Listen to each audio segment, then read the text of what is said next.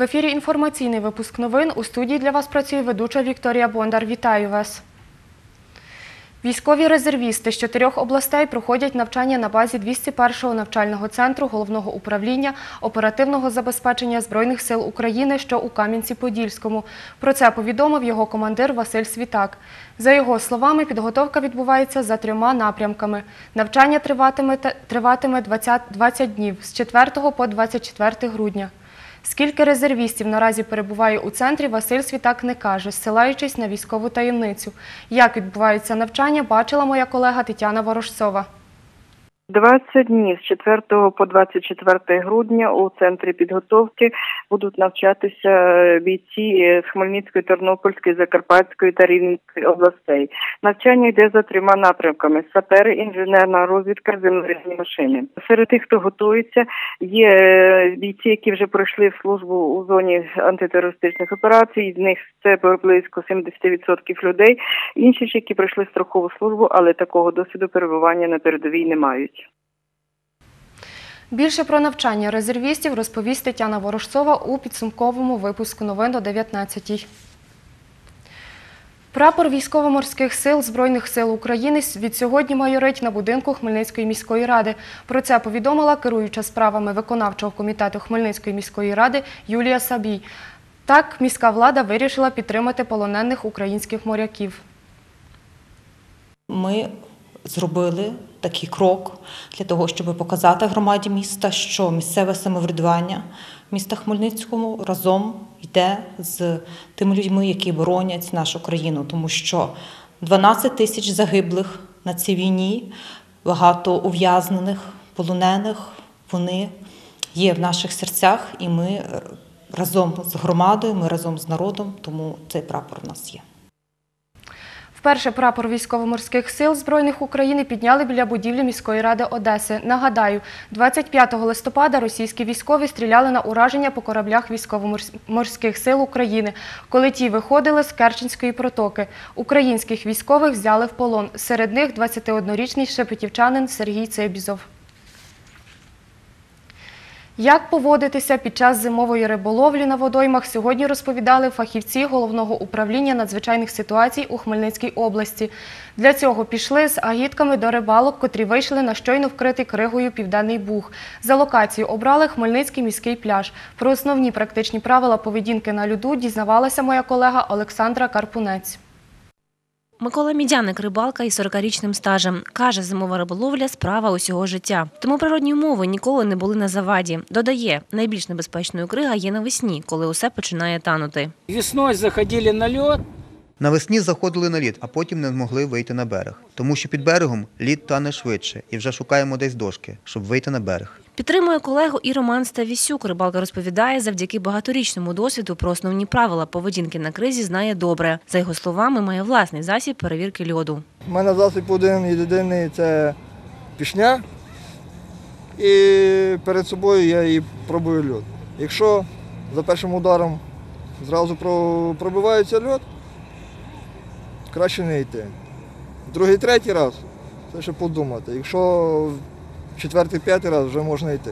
Начальник сектору зв'язків із ЗМІ та роботи з громадськістю управління Державної служби із надзвичайних ситуацій в області Олександр Гулько каже, під час зимової ловлі риби забороняється збиратися на льоду великими групами в одному місці та вживати алкогольні напої. Також робити лунки для риболовлі на близькій одна від одного відстані. На теренах Хмельницької області налічується понад півтори тисячі ставків, а також 200, понад 200 великих та середніх річок які протяжність, протяжність кожної якої, якої становить більше 10 кілометрів. Всі вони зараз вкриті тонкою кригою і багато любителів зимової риболовлі, як ми бачимо, виходить на лід, нехтуючи правилами власної безпеки. Наражаючи себе на небезпеку, працівники служби порятунку вручили рибалкам тематичні листівки з основними правилами безпечної поведінки на льоду та розповіли, як правильно допомогти людині, яка опинилася у холодній воді. На сьогоднішній день крига досить таки тонка, в зв'язку з тим, що температура повітря коливається від плюса до мінуса, і тому закликаємо громадян, мешканців міста бути обережними і в разі не виходити на кригу. І якщо вже сталася якась така надзвичайна подія, то негайно телефонувати до служби порятунку 101. Олександра Карпунець, Іван Мовчан, новини Поділля Центр. 142 стаціонарних пункти обігріву створили на Хмельниччині. Про це розповів начальник відділу управління з питань цивільного захисту населення Хмельницької облдержадміністрації Віктор Овідько. За його словами, в разі різкого зниження температури повітря нижче позначки 10 градусів морозу цілодобово надаватимуть допомогу. Стаціонарні пункти обігріву розгорнуті в усіх містах та райцентрах Хмельниччини. Вони розміщені в приміщеннях навчальних закладів, е, медичних закладів, закладів соціальної освіти, в приміщеннях автовокзалів, залізничних станцій. Адреси розташування стаціонарних пунктів обігріву можна дізнатися на сайтах обласної та районних державних адміністрацій області. Також в області для е, реагування на можливі надзвичайні ситуації в зимовий період створено і підготовлено до роботи 20 мобільних пунктів обігріву. Це практично в кожному районі по одному. От, е, до них використовуються як сили засоби місцевих органів виконавчої влади, так і головного управління е, Державної служби надзвичайних ситуацій. У разі ускладнення дорожньої обстановки, ускладнення проїзду, ну, случається таке і затори, і все. От, для того, щоб надати людям е, допомогу в місцях, де немає ніяких, так сказати, е, будівель, от, ми розгортаємо пункти е, обігріва в місцях скупчення транспорту, в місцях відстою транспорту, який буде очікувати, поки е, дорожні служби наведуть порядок на дороги.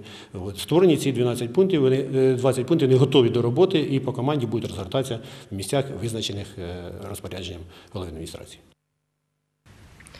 За словами Віктора Овідька, найпроблемніші ділянки доріг неподалік села Головчинці Летичівського району, так звана ділянка Тещин-Язик неподалік Кам'янця-Подільського, перехрестя на під'їзди на під'їзді до Староконстантинівського та Шепетівського районів. На кожному пункті обігріву працюватиме 2-3 людини. В разі потреби залучатимуть додаткові ресурси. Кінострічку про оборону Донецького аеропорту безкоштовно покажуть у міському кінотеатрі Шевченка. Про це повідомила директор муніципального кінотеатру імені Тараса Григоровича Шевченка Ольга Брижань. За її словами, повторний показ українського повнометражного фільму Кіборги герої не вмирають приурочений до Дня Збройних сил України. Перегляд розпочнеться сьогодні о 18-й годині. Сьогодні в Хмельницькому обласному центрі фізичного виховання учнівської молоді стартує відкритий обласний турнір з легкої атлетики Подільська зима, повідомляє заступник директора центру Анатолій Бурчак. За його словами, до організації долучилися обласна федерація легкої атлетики та відділення Національного олімпійського комітету в області. 150 спортсменів змагатимуться в легкоатлетичному манежі та матимуть відповідну для закритих приміщень програму стрибки, біг на короткій середній дистанції. Сьогодні в учасників день заїзду. Турнір розпочнуть завтра о 11 годині. Урочисте відкриття змагань завтра о 13.30. Головний суддя турніру Вадим Крушинський. Наразі це всі новини, які ми встигли для вас підготувати. Більше дивіться у наступних випусках новин. Побачимось!